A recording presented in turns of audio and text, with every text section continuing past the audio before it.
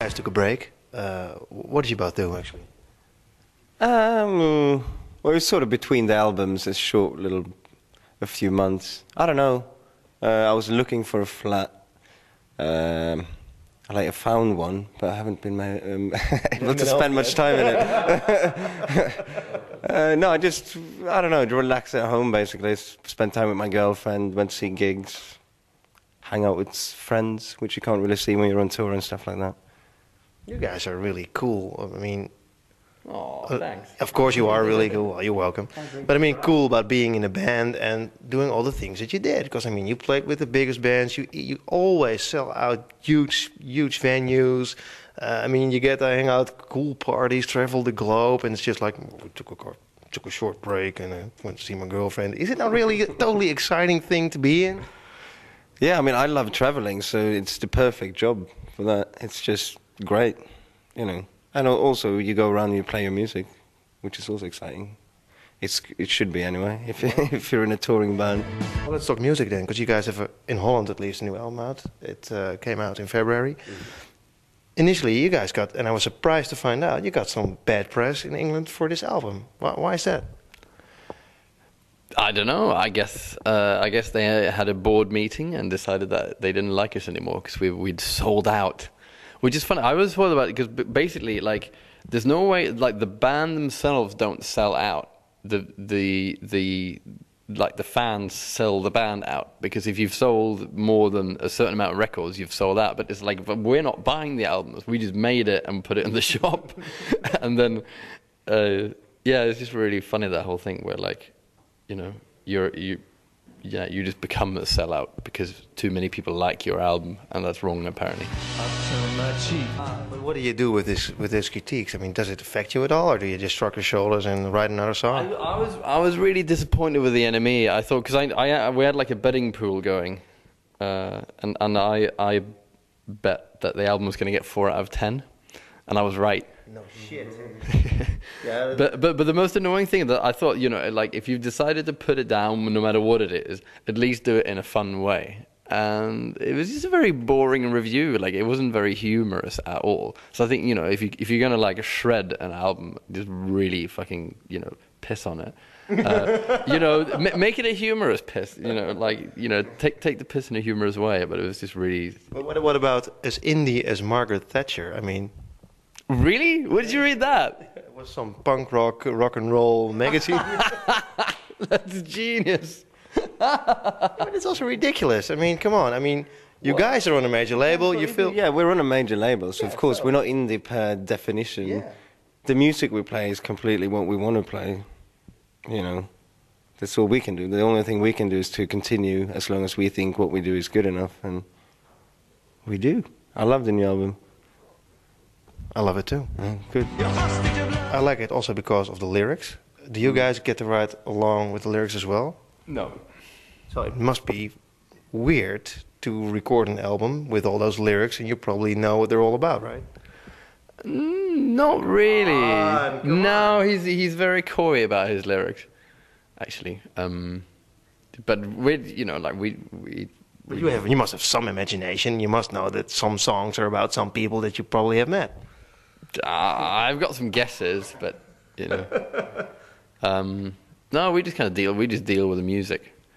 That's probably the good thing about growing up in Sweden, where you, English isn't your first language. You don't really care that much about lyrics. You can kind of like just forget about them. You just focus on melody instead.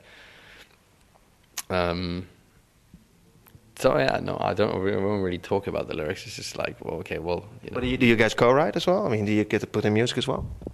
Uh, not so much on this album. I mean, we all like write what we play.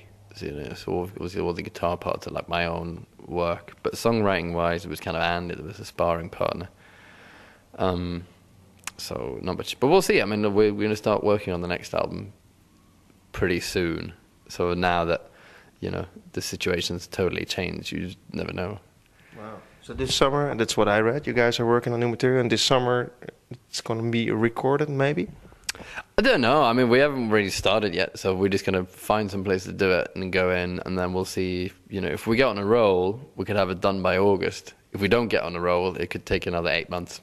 you just don't know. Like, you know, before you've started. And there's there's this thing going on with Andy that he's recording a new album, and it's going to be a battle between the two of you. Yeah. Well, that would be interesting. Uh, what? No, it's Andy. Andy is is recording a new album as well. I thought you said Enya. She she did a new album way ago. boring, are we? well, you guys are sellout. I mean, you might as well bring in Enya. No, uh, no, but there's this. You're you're laughing about it, right? Yeah, I mean, good luck to him. I can't wait to hear his album because he did an album before, but that was sort of he put music to some poets' poems, so it wasn't really a soul album. So, well, maybe it's not a soul album. Maybe he found some other people to work with. I don't know. I haven't talked to him recently. I I, mean, he was talking about playing with that other band, whatever they're called. Was there a fight between you guys? Actually, is there is there is there a bad vibe going on? No, no, Do I feel a little negativity here? no. Well, maybe you do.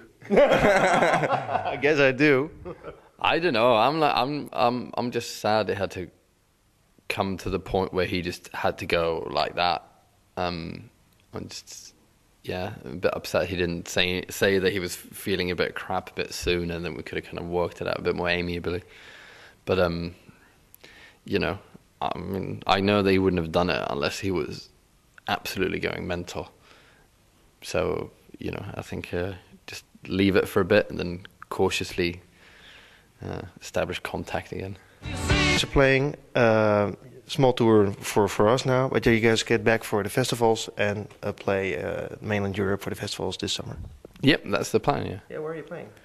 Um, You know this, or I mean, see, what are we doing? or is it actually like Spinal Tap and you don't know where you are sometimes? Uh, it is actually like Spinal Tap, but we don't know where we are. Not on stage. Yeah, no, we have lots of people kind of pointing us, leading us to the stage. You know, there's kind of like no geriatrics and just kick him out on. Um, but uh, uh, I can't remember if we're doing. Lowlands, maybe Pink Pop. Yeah, that's the thing. I, I think we're just kind of negotiating still. So I don't know if it's. I think we're going to. Tr- It was a TBC, wasn't it? To be confirmed. We may, may play it. We don't know yet. Hopefully. Well, you played Lowlands before. Do, do you remember actually the gigs you played here? Lowlands, we played. That was one of the first festivals we did in Europe in 2004, actually. And then we came back, I think. And we done Pink Pop. Yeah, yeah, we have. Yeah, I just remember the first Lowlands one was wasn't that the one where there was like quite a lot of people at the start, and then there was just more and more and more. Well, there was both of them actually. No, that was in a tent. Yeah, no, that's the one I'm talking. All right, okay. That was the, that was the, that was the Dutch one, right? In the tent. Yeah, because I remember thinking like, holy shit, we might actually be able to sell some records. We might be able to go to Europe and play because we'd never been out, and there was like loads of people at the gig, and they just kept coming into this tent. It was great. Well, it's good you remember us, so I hope to see you soon. Yeah, you too. Thank you. Thank you very much. Thank you.